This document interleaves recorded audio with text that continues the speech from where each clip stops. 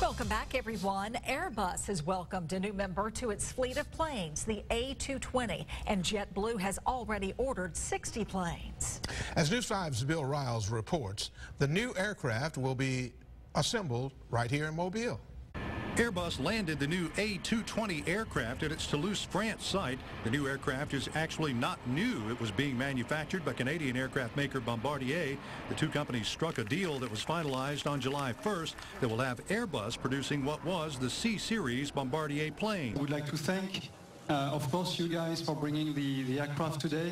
It's the first landing ever of an A220 on Earth. Uh, this is a special moment. With a new name also comes some other new things like a new place to assemble them. Mobile is expected to have a significant role with a new final assembly line at Brookley Aeroplex to assemble the aircraft that's expected to find some solid U.S. customer. Uh, we've started already and we'll go even uh, deeper in terms of trying to sell that airplane. We believe uh, the market uh, is a 6,000 plus market. The 100 to 150 seat aircraft is expected to gain more popularity in the U.S., especially among airlines for regional use. So far, there's been no word on when construction on a new assembly line here in Mobile would begin or when production of the new A220 will begin here in Mobile.